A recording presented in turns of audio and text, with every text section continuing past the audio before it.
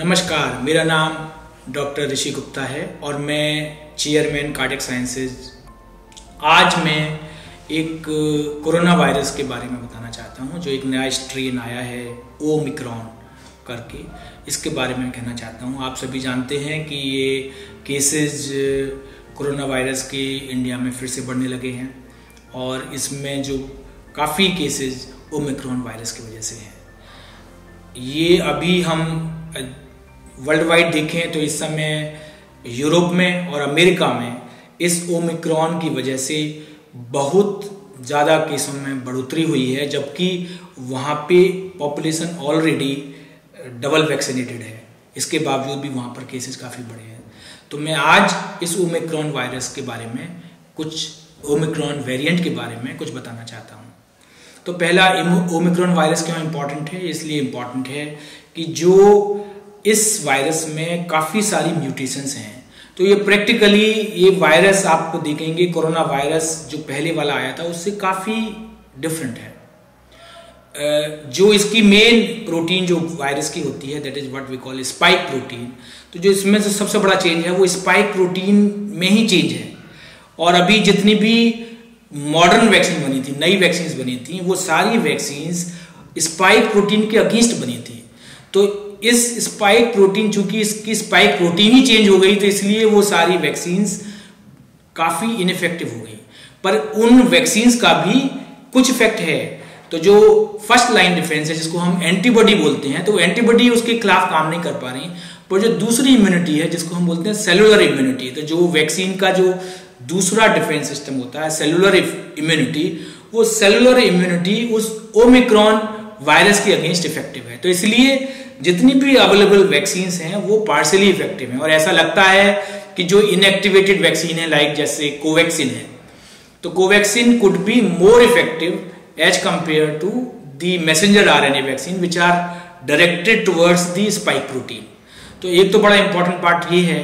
तो इसीलिए ये भी देखा गया है कि जिन लोगों को डबल वैक्सीन लगी हुई है, और उसके बाद उन लोगों ने यदि बूस्टर डोज लगाया है तो वैक्सीन की एफिकेसी 50-60 परसेंट तक है।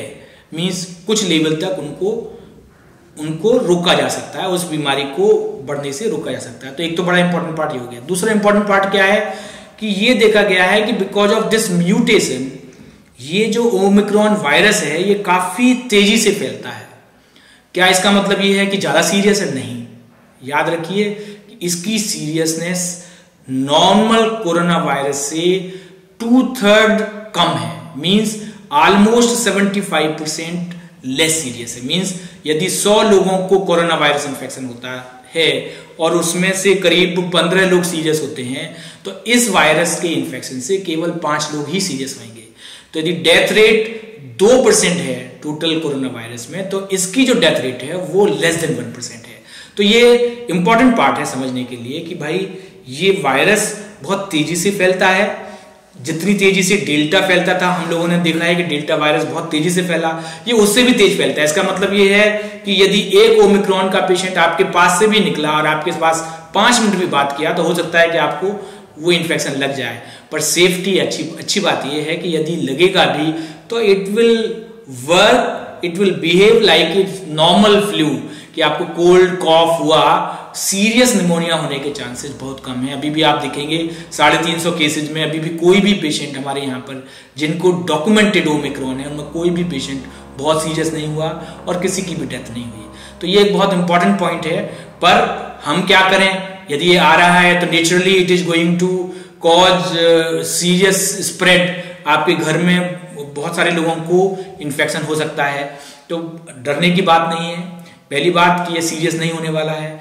दूसरा, यदि आप प्रिकॉशंस लेते हैं, ये भी देखा गया है कि जिन लोगों को एक बार ही इन्फेक्शन हो चुका है और उसके बाद उनको वैक्सीन लग चुकी है तो उन लोगों को इसका इन्फेक्शन होने के बहुत कम चांसेस है।